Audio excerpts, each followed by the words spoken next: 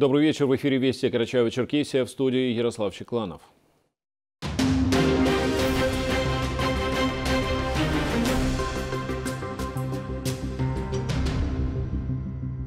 Сегодня глава республики Рашид Тимрезов в режиме видеоконференции принял участие в работе стратегической сессии в инновационном центре Сколково, которую провел заместитель председателя правительства России Марат Хуснулин. Обсуждались стратегические задачи, стоящие перед Россией в сфере строительства, ход реализации приоритетных нацпроектов, механизмы комплексного развития территории. На сессии была представлена стратегия развития строительной отрасли и ЖКХ России до 2030 года с прогнозом до 2035. Она формировалась в том числе и на основе предложений из регионов. Марат Хуснулин в своем выступлении затронул такие важные вопросы, как импортозамещение, применение современных цифровых технологий, эффективное территориальное планирование и других. Все это направлено на решение главной задачи, поставленной президентом Владимиром Путиным – постоянное улучшение качества жизни людей. Сегодня в Малом зале э, правительства Карачаево-Черкесии обсуждали степень готовности региона к осенне-зимнему периоду. Участие в мероприятии, где затрагивалось важные, э, в том числе проблемные вопросы, принял заместитель министра энергетики России Евгений Грабчак ходе совещания он сообщил, что обеспечение энергоресурсами конечных потребителей в СКФО находится на особом контроле в федеральном ведомстве. В частности, было отмечено, что в зоне внимания экспертов числятся аварийность в электросетевом комплексе, качество обслуживания предприятий и населения и многое другое. В свою очередь, председатель правительства республики Мурат Аргунов рассказал о том, что работа работа в Карачаево-Черкесии по подготовке к осенне-зимнему периоду идет в плановом режиме. Имеются все необходимые ресурсы для беспроблемного прохождения сезона холодов. Надеюсь, вот те решения, которые сегодня были приняты, они, конечно же, улучшат э, состояние как э, электросетевого хозяйства, так и энергетики в целом и позволят более качественно оказывать услуги, э, в первую очередь, для населения ресурсоснабжающим организациям. Ну, для нас подготовка из УЗП – это основная задача на сегодняшний день. Это подготовка энергетического комплекса, коммунального комплекса к прохождению осенне-зимнего периода. Я вот Евгению Петровичу благодарен, что особое внимание Минэнерго уделяет и нашему региону, и в целом Северному Кавказу. Хочу сказать, что достаточно активными темпами у нас идет подготовка с опережением плана, установленных согласно постановлению правительства региона. На сегодняшний день готовность субъекта составляет 96%. Количество бродячей живности на улицах Черкеска не может не пугать. Каких-то 2-3 года назад казалось, что городским властям удалось с помощью профилактических мероприятий взять под контроль популяцию бездомных собак. Однако нынешняя статистика случаев нападения четвероногих на людей свидетельствует о том, что проблема нуждается в срочном решении. Тему продолжит Артур Мхце. Алло, здравствуйте. Это с поликлиники вас беспокоит. На укольчик не подошли. Можете сегодня подойти в течение дня? Медперсонал хирургического отделения городской поликлиники обзванивает жителей Черкеска, пострадавших в последнее время от укусов собак. А ведь немало и тех, кто до последнего избегает встреч с эскулапами, надеясь, что все обойдется. К сожалению, за последнее время участились укусы бродячих собак. И к нам ежедневно обращаются порядка от двух до пяти человек. И мы им расписываем полностью график, как нам обращаться. Этим гражданам нет необходимости стоять в очередях или как-то записываться к нам.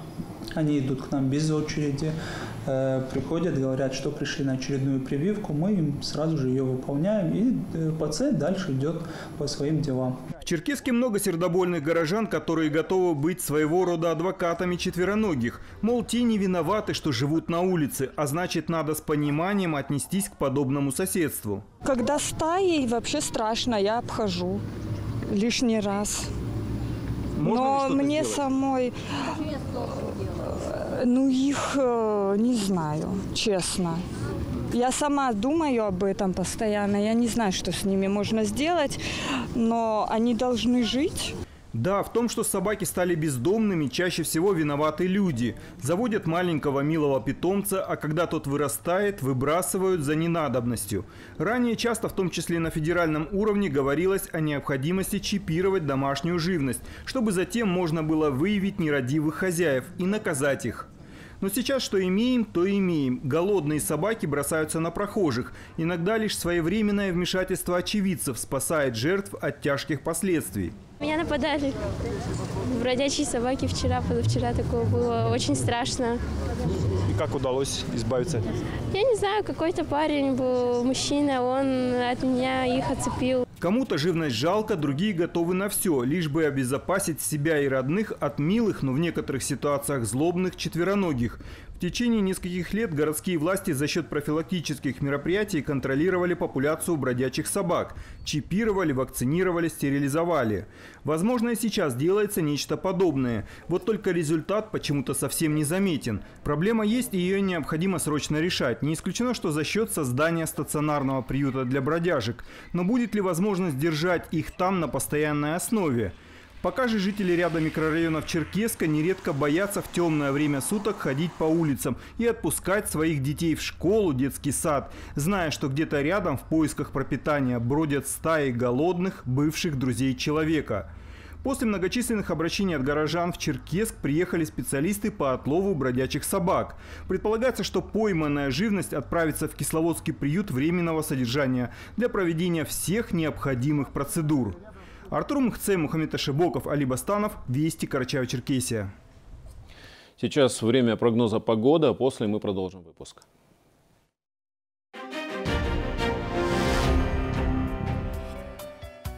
В Карачаево-Черкесии преимущественно без осадков.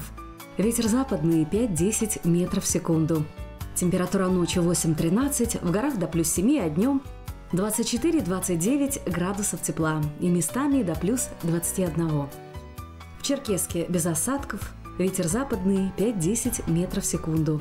Температура ночью 11-13, а днем 27-29 градусов тепла. Мировые стандарты лечения катаракты в Пятигорске. Глазная клиника «Факт». Ведущие хирурги из крупнейших городов России. Передовое оборудование и высокотехнологичные хрусталики из Америки и Европы. Избавьтесь от катаракты за один день. Глазная клиника «Факт». Пятигорск. Телефон 8 800 700 90 89. 8 800 700 90 89. Оптовая база «Жасмин Текстиль» предлагает в широком ассортименте приданное для невест, постельные принадлежности, полотенца и многое другое. Скидка 30% на все. Наличные и безналичные расчеты, а также кредит. Черкесск, улица Октябрьская, 321-Б. Телефон 8 938 030 30 50. Окна в рассрочку! Оконный комбинат 8 938 333 92 0.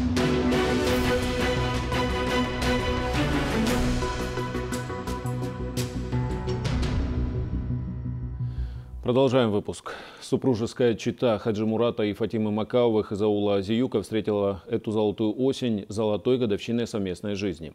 Вот уже 50 лет супруги идут по жизни рука об руку, заслужив своим достойным примером и добрыми делами громкую славу не только в родном районе, но и всей Карачаево-Черкесии. Листы семейного альбома Макаовых вместе с гостями празднества перелистала и Фатима Даурова.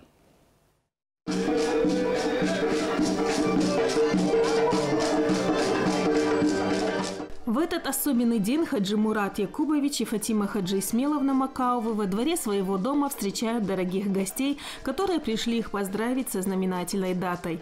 Сегодня вы наши юбиляры. Нам очень приятно, что мы сегодня с такой, а, с таким хорошим, с такой хорошей миссией пришли к вам. Поздравляем вас, желаем вам долгих лет жизни.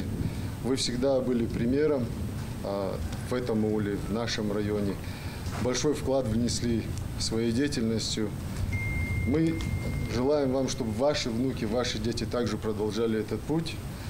Дай Аллах, чтобы вы еще сто лет прожили. Солидный супружеский стаж – повод для гордости. Год за годом супруги Макаовы вместе преодолевали сложности, решали вопросы, учились понимать друг друга без слов. Их союз прочно скреплен уважением, заботой и благодарностью. Они поддерживали друг друга во всех начинаниях и всего добились в жизни именно благодаря этой поддержке, стараниям и труду. Сила нашей семьи – это дружба, это любовь это уважение друг к другу.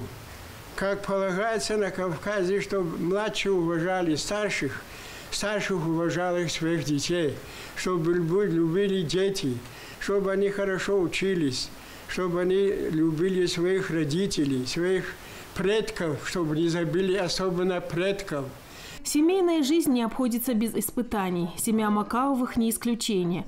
Хаджимурат Макаов всю жизнь посвятил развитию сельского хозяйства в родном районе. Начинал трудовой путь с должности зоотехника в колхозе «Путь Ильича», а на пенсию его уже провожали в качестве директора коллективного хозяйства «Зиюковская».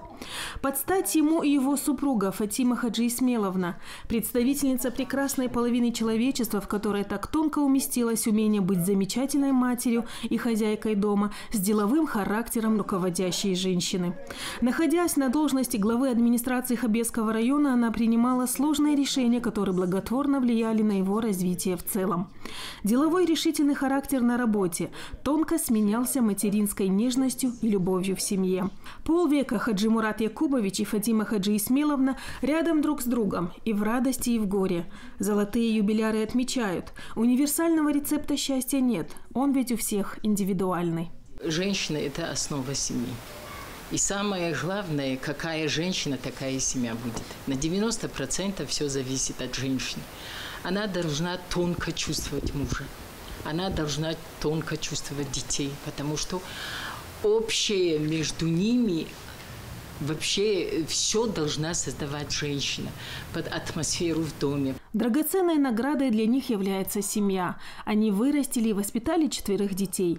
Сегодня дом Макаовых наполнен уютом и теплом. Замечательных бабушку и дедушку радуют счастливые голоса многочисленных внуков и внучек. Всегда она была примером того, какой должна быть женщина, по крайней мере для меня точно. Я считаю, что она образец всего работающая женщина, любящая мама, любящая жены, самой замечательной бабушки. Мне кажется, она вот воплощает в себе все то, что вот поэты, художники, да, когда говорят настоящая женщина, я считаю, что вот она и есть вот символ настоящей женщины, к которой мы все должны стремиться. Я и в том числе, что я пытаюсь как бы сделать, но получается или нет, это уже второй вопрос.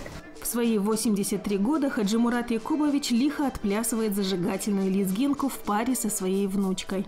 Красивая картина. Замечательный итог танца длиною в 50 золотых лет. И если верно, что супругов соединяют небеса, то эту пару подбирали с большой гарантией качества и любви. Фатима Дорова, Мухаммеда Шибоков, Вести, Карачаева-Черкесия.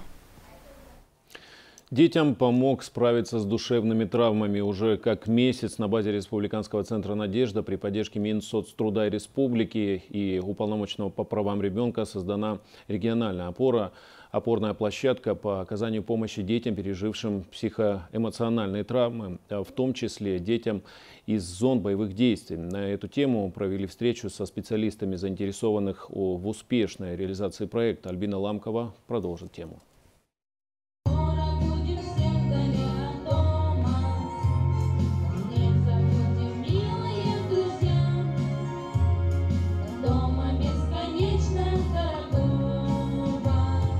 Инновационный проект реализуется Фондом поддержки детей, находящихся в трудной жизненной ситуации и органами исполнительной власти.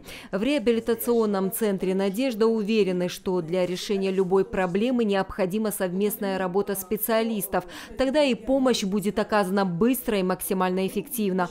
Поэтому проводят встречи со всеми специалистами, которые могут оказать воздействие на работу региональной опорной площадки по оказанию помощи детям детям, пережившим психоэмоциональные травмы, в том числе детям, возвращаемым из зон боевых действий. А, данный проект рассчитан на четыре жизненные ситуации. Целый месяц работала фокус-группа со всех регионов, которые разрабатывали алгоритм работы, необходимый с данной категорией семей и детей а, для поддержания а, этих семей не только психологические, но и юридическая помощь им будет оказываться, медицинская помощь будет оказываться, социальная помощь. Несомненно, специалисты реабилитационного центра «Надежда» – профессионалы, которые имеют большой ежедневный опыт работы с детьми в трудной жизненной ситуации. Конечно же, фактор социального недоверия присутствует. Многие уверены в том, что не получат необходимую помощь. Однако это совсем не так. Но, к сожалению, к нам дети попадают уже по факту случившегося а, и э, не по личному обращению. Тогда, когда уже э, проходят какие-то следственные мероприятия, если э, районы будут с нами сотрудничать и будем выявлять такие семьи на ранней стадии, конечно, эффект будет лучше и результат будет намного выше. Проект будет работать в течение года. Помощь оказывают бесплатно. Достаточно обратиться лично или же по круглосуточному телефону доверия 8 878 2 27 15 05. Затем в удобное время можно будет встретиться с нужным специалистом. Альбина Ламкова, Либостанов, Вести, Карчаева-Черкесия. Это все вести на сегодня. Прямо сейчас смотрите продолжение сериала «Елизавета».